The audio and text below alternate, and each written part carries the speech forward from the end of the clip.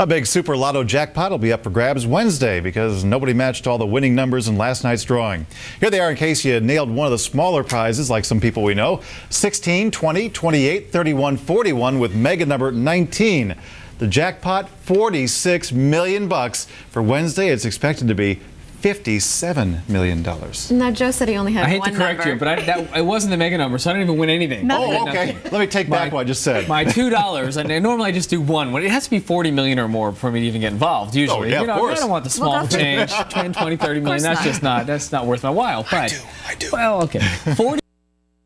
Your local news is next. Coming up, terrifying moments for homeowners. A brush fire threatens a neighborhood in the North County. Deputies open fire, killing a man who allegedly ran at them with a knife. U.S. troops arrest a man suspected of masterminding a deadly bombing as President Bush calls on the nation to support the continued fight against Iraq. The news at 11 is coming up next. NBC 739 News at 11, Weekend Edition. will take time and require sacrifice. Yet we will do what is necessary.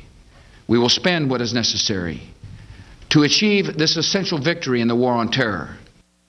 The president addresses the nation, telling Americans there is no turning back in Iraq. Good evening. Thanks for joining us. I'm Greg Mills. And I'm Kathy.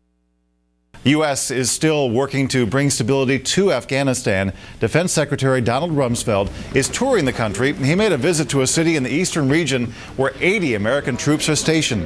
They've been fighting Taliban guerrillas and helping with reconstruction projects in the area. Four Americans have died in combat there in the last month. Rumsfeld said there are still concerns about security at Afghanistan's borders and terrorists slipping into that country.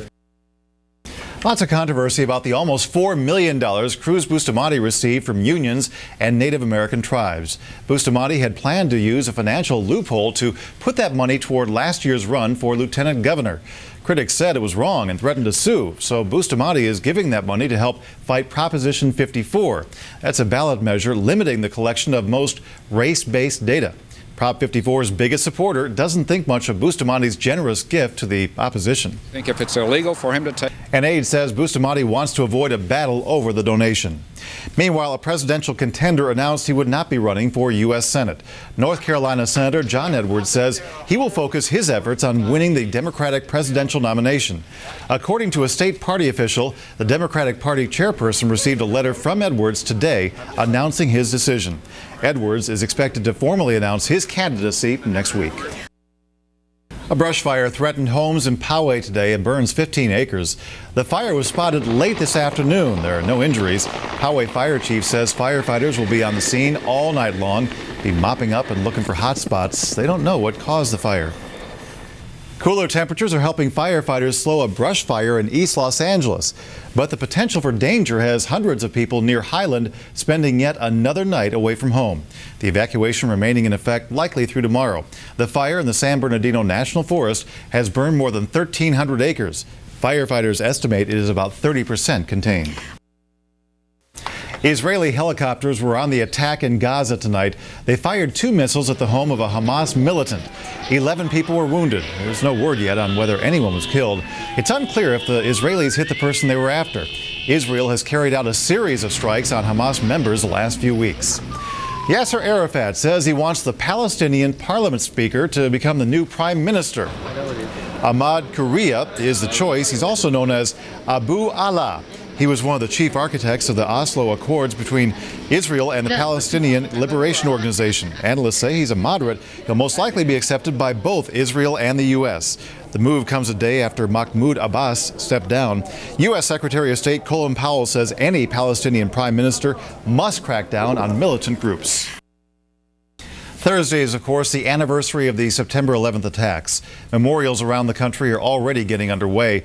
A memorial walk in Dallas today featured 3,000 flags, each flag representing one confirmed victim of the terrorist attacks. The participants also walked 3,000 meters. Money raised from the event benefits Texas firefighters.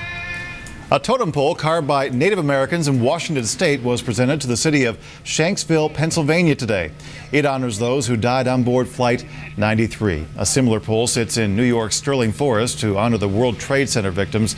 The Lummi tribe also plans to deliver two totems and an arch to the Pentagon. Organizers of Street Scene say some roads in the East Village will be closed until mid-afternoon tomorrow. Well, congratulations to all those athletes who gave it a try. I know if someone told me one mile or three mile, Oh man, that's not a the choice choice. pretty easy. I went for a walk today, One mile or three mile. back around the block at halftime of the Charger. I think that is pure class. Our triple threat play of the week. Mm-hmm. Hats off to Tom Kraft's team. They did a terrific job. And that quarterback whose name I can't pronounce. Matt Dugalecki Boy, boy, he was good. played, played well under pressure. And you're right. That was a classy way to end it all. It was. Hey, George Michael's Sports Machine coming up next. Have a good night.